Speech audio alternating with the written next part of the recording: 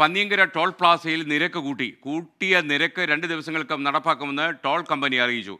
Car jeep തുടങ്ങിയ ചെറുവണ്ടികളുടെ ഒരു വശത്തേക്കുള്ള യാത്രയ്ക്ക് നൂറ് രൂപയും റിട്ടേൺ ഉൾപ്പെടെ ഉണ്ടെങ്കിൽ നൂറ്റി അൻപത് രൂപയും കൊടുക്കണം. ബസ്സുകൾക്ക് നാനൂറ്റി അറുപത്തി അഞ്ച് രൂപയാണ് ടോൾ നിരക്ക്. നിഖിൽ പ്രമേഷ് വിശദാംശങ്ങളുമായി ചേരുന്നു.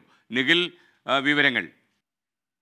S K N Panniyankara toll പ്ലാസയിലെ നിരക്ക് കുറയ്ക്കണമെന്നാവശ്യപ്പെട്ടുള്ള ബസ് ഉടമകളുടെ അടക്കം സമരം വളരെ സജീവമായി തുടരുന്നതിനിടെ അവർ കോടതി അടക്കം സമീപിക്കുന്ന സാഹചര്യങ്ങൾ ഉണ്ടായിരുന്നു.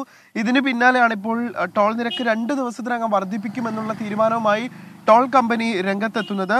കൂട്ടിയ നിരക്ക് രണ്ട് ദിവസത്തിനകം നടപ്പാക്കുമെന്നാണ് അവർ പറയുന്നത്.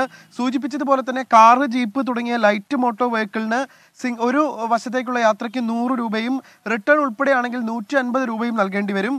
ബസ്സുകളുടെ ടോൾ നിരക്ക് നാനൂറ്റി അറുപത്തി അഞ്ച് എന്ന നിലയിലുമാകും. ഇത് അവരെ സംബന്ധിച്ചിടത്തോളം വലിയ പ്രതിസന്ധി സൃഷ്ടിക്കും. കാരണം കോവിഡ് തീർത്ത ഈ നീണ്ട ഇടവേളയ്ക്കൊക്കെ ശേഷം സ്വകാര്യ ബസ് ഉടമകൾ ഒന്ന് ട്രാക്കിലായി വരുമ്പോഴാണ് ഒരു വലിയ നിരക്ക് അവർക്ക് ടോൾ ആയി നൽകേണ്ടി വരുന്നത്.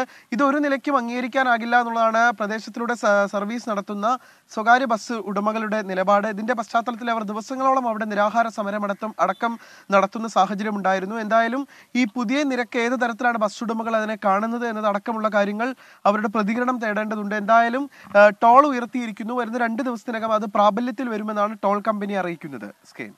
ലോകത്തെവിടെയായാലും ഏത് സമയത്തും ട്വന്റി ഫോർ വാർത്തകളും ഓക്മെന്റഡ് റിയാലിറ്റി പാക്കേജുകളും എക്സ്പ്ലെയിനറുകളും വിശദമായി കാണാൻ ഞങ്ങളുടെ യൂട്യൂബ് ചാനൽ നിങ്ങൾക്ക് സബ്സ്ക്രൈബ് ചെയ്യാം.